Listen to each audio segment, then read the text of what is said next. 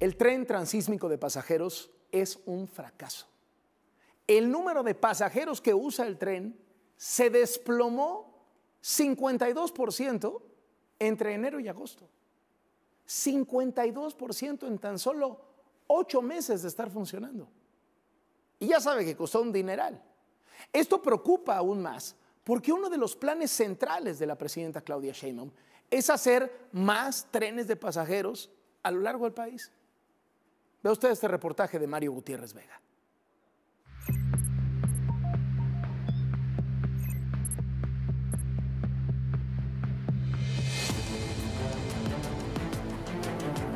La reactivación del tren de pasajeros en el istmo de Tehuantepec ha sido un fracaso. En sus primeros ocho meses de funcionamiento, la línea Z, que conecta los puertos de Coatzacoalcos y Salina Cruz, se fue a pique en la cantidad de viajes y de personas que la utilizan.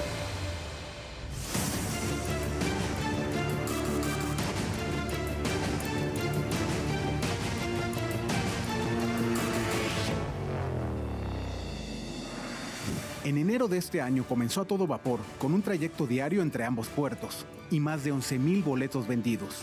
Es decir, al mes realizaba 30 viajes, pero en junio el tren solo tuvo 19 recorridos y 3.527 pasajeros.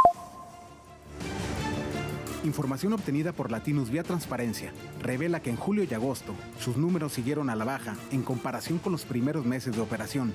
Por ejemplo, en el trayecto más popular, el de Salina Cruz a Coatzacoalcos, se vendieron 1.461 boletos en los 11 viajes que se hicieron en marzo, mientras que en seis recorridos de agosto apenas se expidieron 848 billetes.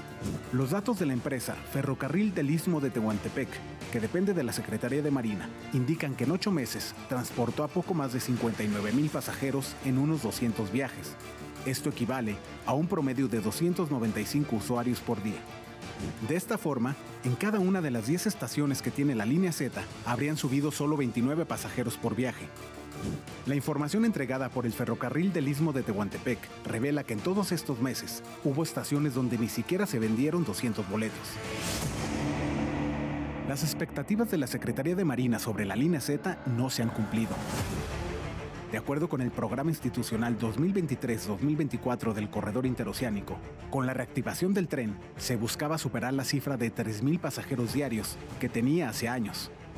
El declive se hizo evidente a partir de junio. Desde entonces, se suspendió el servicio diario y los viajes de pasajeros se hicieron solo los fines de semana y algunas veces los lunes, de acuerdo con la página de internet donde se venden los boletos. En octubre la situación es peor.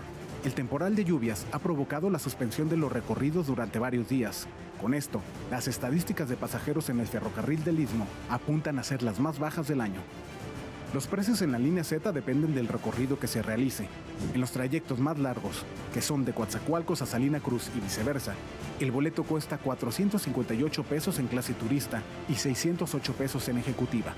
Para rehabilitar esta vía de 212 kilómetros que combina el transporte de pasajeros y de carga, el gobierno federal invirtió más de 16 mil millones de pesos. Este malogrado proyecto ferroviario es uno de los que supervisó Bobby López Beltrán, hijo de Andrés Manuel López Obrador. El expresidente le encargó ser su operador en las obras del corredor interoceánico.